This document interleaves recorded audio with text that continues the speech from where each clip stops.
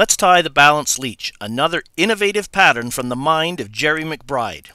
This is a fantastic pattern to hang under an indicator as it suspends in a horizontal manner just like many natural trout food sources. Give it a try. Here's the materials you'll need.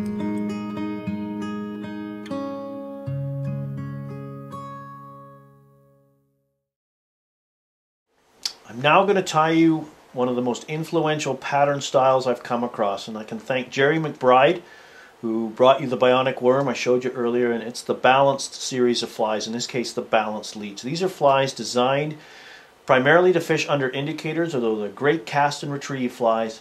They suspend horizontally. They mimic the natural path that most organisms in lakes cruise, horizontally, not vertically. When you hand a, sorry, hang a traditional pattern under an indicator, it tends to hang vertically, which is effective, but not nearly as effective as a pattern that suspends horizontally. And you'll see this hook is a little unorthodox. You can use a standard shank down eye hook, works equally well. The risk of a down eye hook, when you build the fly after balancing it, after balancing the hook, you run the risk of accidentally obscuring the hook eye with your materials, and then you've got a balanced fly that's just simply too tough to tie on. So this down eye Small down eye jig hook, the purpose of the down eye allows it to protrude above the body of the fly so you can easily tie it on. And this hook is the Mustad Ultra Point 32833 BLN in sizes 10 or 8. It only goes as small as 10s. You can get these uh, on my and Brian's Stillwater Fly Shop. That's stillwaterflyfishingstore.com. Uh, we sell 8s and 10s in packages of 25. Um, so I'm going to place this into the vise. The first thing we're going to do is cut a pin because we use a pin and tungsten bead to tip the fly horizontal. So we're just going to measure this up and the distance you want to trim is from the head of the pin is right above the point of the hook to the downturn eye and then you're going to come in with a pair of side cutters and trim at this point and be careful you don't fire that discarded pointy end all over the room. And this is the kind of step, there's the trimmed pin, that you would do over and over again. So you would trim all of your pins for the amount of flies you're going to tie all at once. One of the tricks to getting consistently balanced flies is this doing everything at once production style so your pins are all the same length. So now our pin is ready to go and we're going to actually remove the hook from the vise at this time. Alright, I've taken that cut pin and I have slid a tungsten bead, a 7 64 tungsten bead in this case, onto the pin. You can use 7 64 1 8 even as big as 3 16ths. I tend to like 1 8 and 7 64 for my balanced leeches and my balanced flies, but the choice is up to yours. And of course, the colors are endless. There's gold, there's silver, there's black, there's copper. There's lots of different colored tungsten beads available to you now, and I encourage you to use any and all of them. So I've slid this bead onto the pin with the wide tapered end towards the pin head so when you push it forward it envelops over the pin head. And now we're just going to attach our tying thread. And the thread color doesn't really matter. Um, just happen to have some green thread handy here so we're going to use that.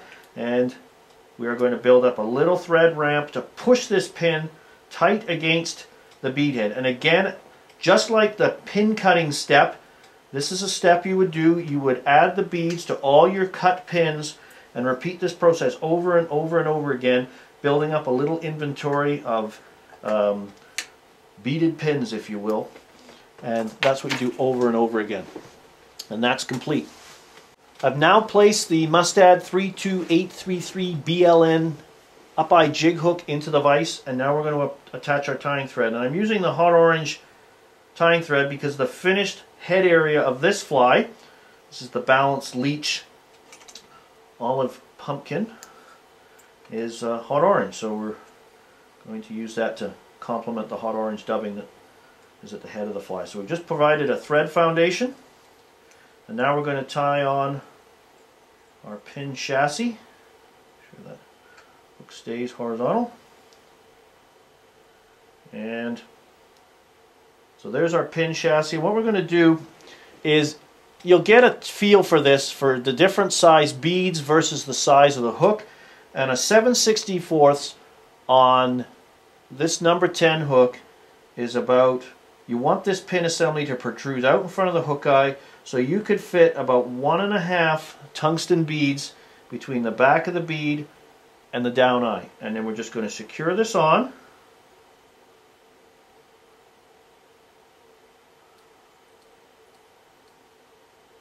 That might be a little, just wiggle it, make sure it's secure. And it's, it's not super tight because if it's a little out of balance, we can wiggle the pin assembly either forwards or backwards uh, to finish the balance process. And that's what we got to do next is make sure this is balanced, the chassis is balanced. So we do a quick whip finish, trim, and then we'll remove the hook and do the test balance. So what I've done is I've taken a little bit of tippet material and I've done a test balance. And you can see this is uh, pretty well horizontal. That's what you're looking for, either horizontal or slightly head down if you're going to tie a long-tailed leech pattern. Again, this balance fly philosophy can adapt to anything, minnow patterns, leech patterns, nymphs, whatever you'd like to balance, you can do it.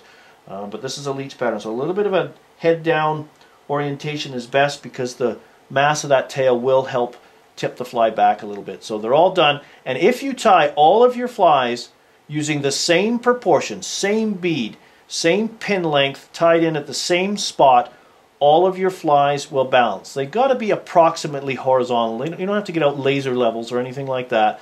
But if you get the first one right, all the other ones you tie using the same specifications will balance correctly as well. The hook is balanced and ready to go. One thing you should do on all of them, and again another benefit to doing in production style where you just build a whole bunch of chassis so they're ready to go, just like pre-weighting nymph hooks if you will for river and stream flies or any weighted situation you want to do. And I've just coated that tie-in area uh, both where I tied the pin in and the rear of the pin with uh, some brushable crazy glue and you let that sit for a few seconds or you let that sit overnight wherever you want and you'd have a whole bin of these built and ready to go. That's the best way. You just sit down one night and production build a whole pile of your chassis for your balance flies and then you just pull them out. And the rest of the fly is simply like tying any other fly. So that uh, had some, sorry, the uh, super glue has had time to kick and dry. So we're just going to reattach our tying thread. Be careful of the back of the pin. It is sharp and it will cut thread, so you need to be careful there.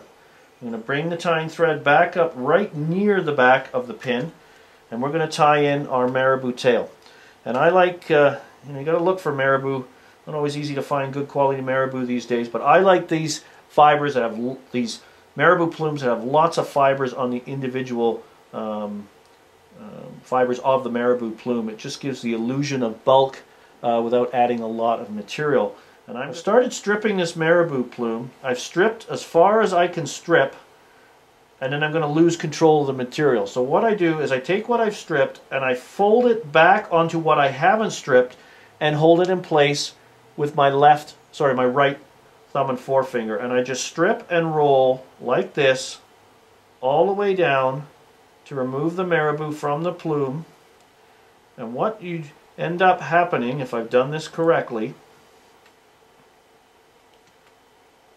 is a marabou plume that for the most part the tips are relatively even because I like for my leech patterns to use, I don't like to tear them to length. I might do a few tears of some errant fibers but not the whole plume and I'll have a nice long relatively even tail that's going to have great movement in the water.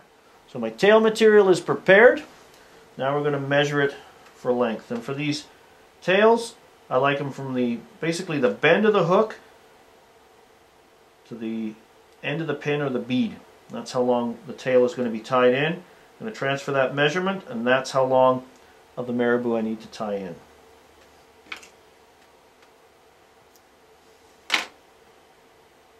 And just trim that off and then secure this in place down the bend of the hook making sure that sits on top have a look at the tail if I've got a few errant fibers you can pinch those away. There we go, we've got a nice, you know, reasonably even length tail. It doesn't have to be perfect, just lots of nice movement in there. And you can always just stroke those tail fibers together just to keep them in control for the rest of the tying. Because you can see how quickly that slims down. We're going to bring the tying thread forward just in front of the hook point. And then we're going to add some flash to the tail. And depending on the color scheme you're using, it can be crystal flash, it can be flashabous of varying colors, like for example a claret tail or burgundy. I tend to put rather holographic mylar into the tail. On this fly I'm using the 6904 flashabou. This is the UV pearl or ice blue uh, pearl. We're going to take two strands and tie those in along the hook along either side. So I've taken two strands here, okay, and I'm moisten them to keep them together. And we're just going to tie them in on top. I'm going to secure one set of strands down one side of the hook and another set of strands down the far side so my my flash if you will runs parallel along either side of the tail and then I'm just going to trim the tips of this flashabou just a little bit longer than the tail probably very hard to see that on camera just because of the but if I turn it a little bit you can see there's a little bit of flash the light's catching it there there's actually flashabou in there. You don't want to overdo it. Two strands per side is fine. You don't want this thing to look like a Las Vegas street sign or something like that. Now the body is just simply dubbing from one end of the fly to the other. So what we're going to do is bring that tying thread forward of the hook point, pull down about four inches, and form a small dubbing loop and secure that back to the base of the tail to close up the loop right at the tail and then carry that tying thread forward right up to the hook eye. For the body, I'm using two materials. I'm using some Arizona Semi-Seal in dark olive, and it's going to have a little ball of dubbing at the front, hot orange ice dub or diamond dub. Okay, so you've got to kind of look at this and a little experience. You'll learn how to load the loop uh, so you have the right balance of materials. And of course, you could form one loop full of olive semi-seal, the dark olive semi-seal, form it, wind it, tie it off, and then another loop of the um, ice dub or diamond dub. We'll just get that nice and compact there and then come in with a couple of pinches of the diamond dub. And this is just to give the fly a little bit of an orange hot spot. And many of the lakes I fish in the, the prairie region of Manitoba, I do a lot of my hosted trips, some magnificent stillwater fly fishing there. Uh, the fathead minnow is a prominent food source, and when the males get all dressed up for spawning in their colors. They're this dark olive with the, their sort of their head gill area uh, has little uh, hot orange or bright red accents uh, to attract the mate. So we're just going to spin this tight. And roughen it up with our hands, taking the errant fibers out. You'll find that the diamond dub tends to, or the ice dub tends to spin a little tighter but we can brush that out. Again, it's more for the color than the mobility comes from the, mo the semi-seal. Just a fantastic dubbing for still water flies. Congratulations to John Rohmer for his dubbing mixes. They're excellent. So we're just going to wind this forward, one wrap right in front of the other. I'm trying to gauge this so just as I reach the down eye of the hook, that my olive dubbing ends. Be a bit tight here. And oh, not too bad. And now my hot orange dubbing begins. You just want a few wraps. We're just building a little hot orange, whoops, off the dubbing tool there a bit. Happens from time to time. Reinsert it. Give it a couple more twists to make sure I haven't lost any tension and then whoops bring this right up behind the bead. Tie her off. Trim. And now we're going to head cement this. And if I try and put head cement or any kind of adhesive here I run the risk of gluing all the dubbing down which I want to brush out. So I'm going to let the thread be my medium and transfer the adhesive, in this case brushable super glue that I've applied to the tying thread. I'm going to wrap that in right behind the bead and whip finish. Because you've got the glue in there, two or three turns is ample, and that hot orange tying thread complements that dubbing at the front. So now you can see why we used, you might have said, why are we using hot orange thread on an olive body fly? So the tying portion of our balanced leech is complete. And now we want to just further enhance the leech-like profile. There's a couple things you can do. The first step is to take Velcro and just brush and aggravate the dubbing along all sides of the fly. Just give it a good back and forth and brush, brush, and basically on all four sides, top, bottom, and sides, all the way along.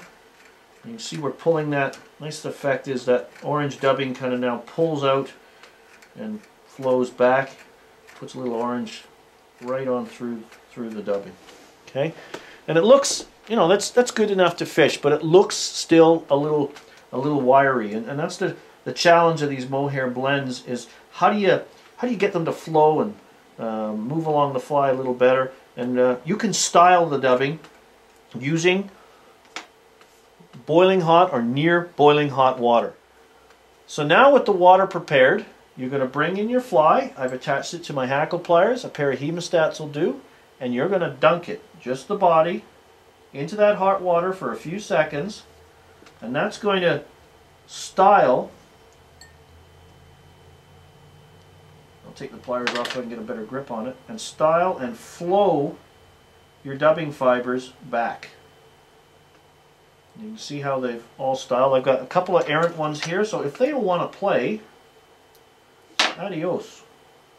And there you go. You've got a nice styled leech. And when this dries, that's all going to flow back. And that's a great tip for you to use whenever you're dealing with mohair based flies. Style them all at the end of the tying process. So there's the completed olive pumpkin. A great variation using the balanced fly philosophy. For more information on fly fishing, in particular stillwater fly fishing, including tips, techniques, and other fly patterns, don't forget to visit my website at flycraftangling.com. Of course, you can find me on Facebook and follow the conversation on Twitter. Thanks for watching. I look forward to seeing you on a future fly tying video.